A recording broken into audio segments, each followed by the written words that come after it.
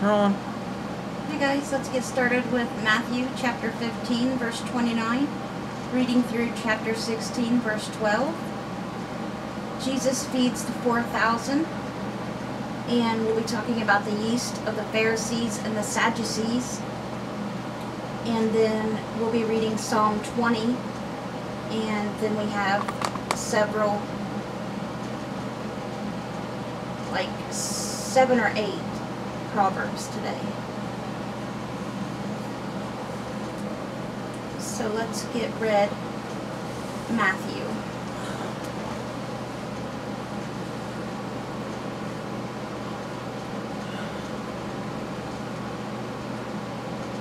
Jesus left there and went along the Sea of Galilee. Then he went up on a mountainside and sat down.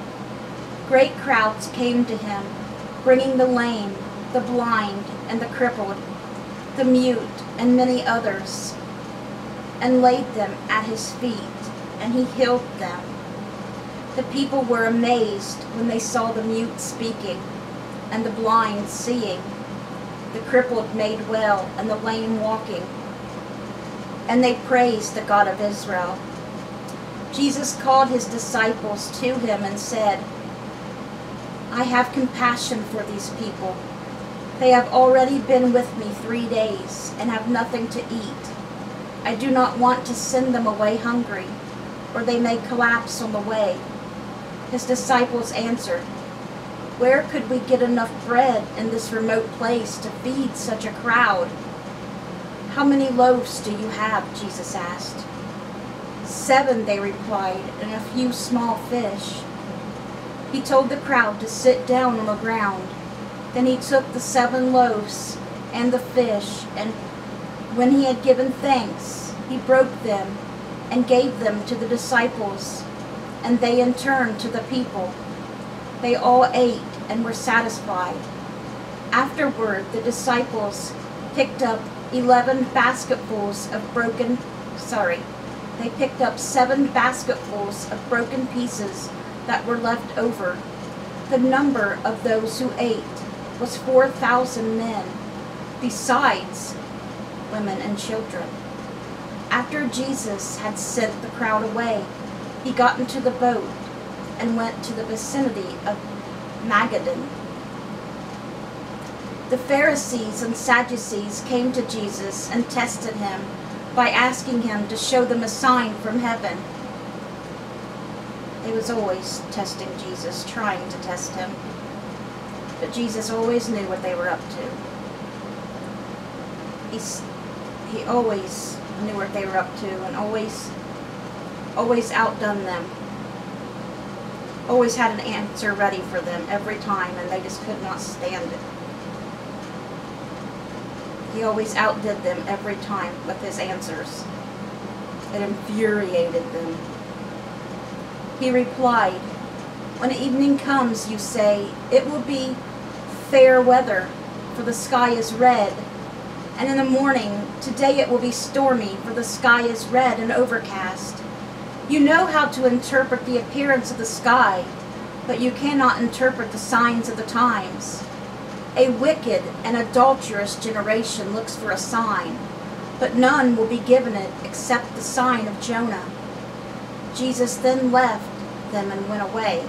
Remember, we talked the other day about what the sign of Jonah was.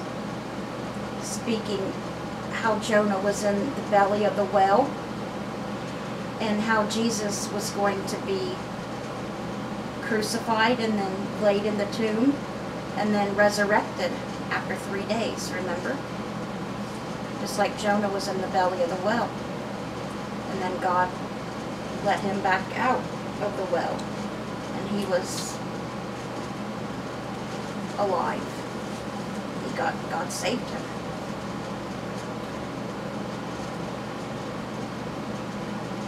When they went across the lake, the disciples forgot to take bread. Be careful, Jesus said to them. Be on your guard against the yeast of the Pharisees and Sadducees. They discussed this among themselves and said, It is because we didn't bring any bread. Aware of their discussion, Jesus asked, You of little faith, Why are you talking among yourselves about having no bread? Do you still not understand? Don't you remember the five loaves for the five thousand, and how many basketfuls you gathered? Or the seven loaves for the four thousand, and how many basketfuls you gathered? How is it you don't understand that I was not talking to you about bread? But be on your guard against the yeast of the Pharisees and Sadducees. Then they understood that he was not telling them to guard against the yeast used in bread, but against the teaching of the Pharisees and Sadducees.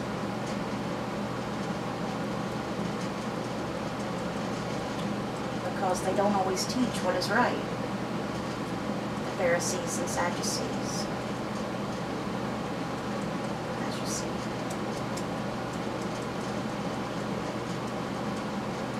All right, and that's where we're going to stop with Matthew today. All right, guys, so let's get on with our psalm, Psalm 20, for the director of music, a psalm of David.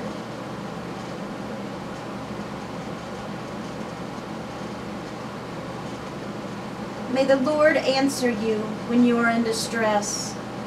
May the name of the God of Jacob protect you. May he send you help from the sanctuary and grant you support from Zion. May he remember all your sacrifices and accept your burnt offerings. May he give you the desire of your heart and make all your plans succeed. May we shout for joy over your victory and lift up your banners in the name of our God. May the Lord grant all your requests. Now this I know. The Lord gives victory to his anointed. He answers him from his heavenly sanctuary and the victorious power of his right hand. Some trust in chariots and some in horses, but we trust in the name of the Lord our God. We are brought to their knees and fall, but we rise up and stand firm. Lord, give victory to the King. Answer us when we call. And that was Psalm 20 for the director of music, a psalm of David. And like I said, we have several Proverbs today. And they are Proverbs chapter 4, verses 20 through 27. My son, pay attention to what I say. Turn your ear to my words. Do not let them out of your sight.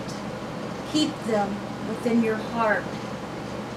For they are life to those who find them, and health to one's whole body. Above all else, guard your heart, for everything you do flows from it. Keep your mouth free of perversity. Keep corrupt talk from far from your lips.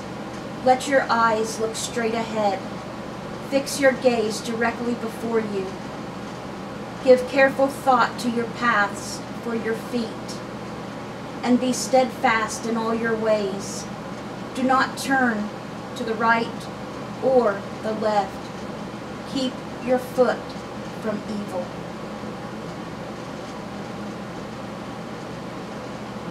All right, guys, and that was our Bible reading for today. I hope it touched your guys' hearts, and I hope you guys have a great rest of your night. Let's bring those souls to Jesus, and God willing, we'll see you guys again soon with another Bible reading. Bye, guys. God bless.